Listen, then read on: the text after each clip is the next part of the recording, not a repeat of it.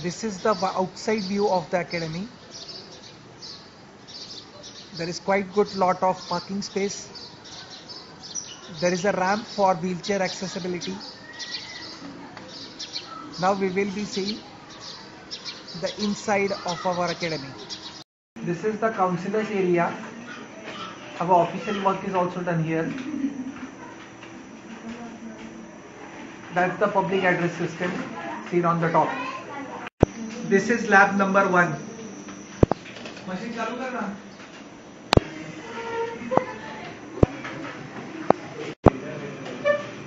this is lab number two